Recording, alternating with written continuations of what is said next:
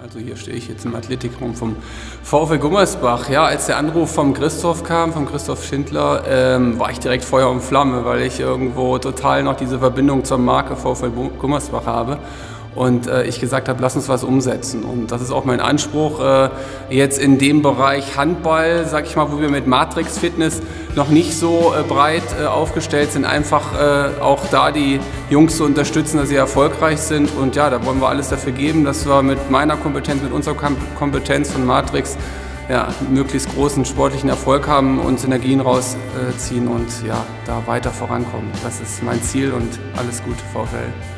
Ja, also ich freue mich, dass wir mit Volker Lichte und der Firma Matrix äh, wieder einen kompetenten Partner ähm, dazu gewinnen konnten für den VfL Gummersbach, der die Professionalisierung im Umfeld ähm, weiter vorantreiben wird. Ähm, der Kontakt kam eigentlich durch den Arne Kraskowiak zustande, der ja unser neuer Athletiktrainer ist und die Jungs ja, im athletischen Bereich top ausbildet und von daher haben wir jetzt mit den neuen Trainingsgeräten Firma Matrix äh, die besten Bedingungen äh, für die Jungs und sie bestmöglich ausbilden, äh, um dann halt auch noch bessere sportliche Leistung zu erzielen.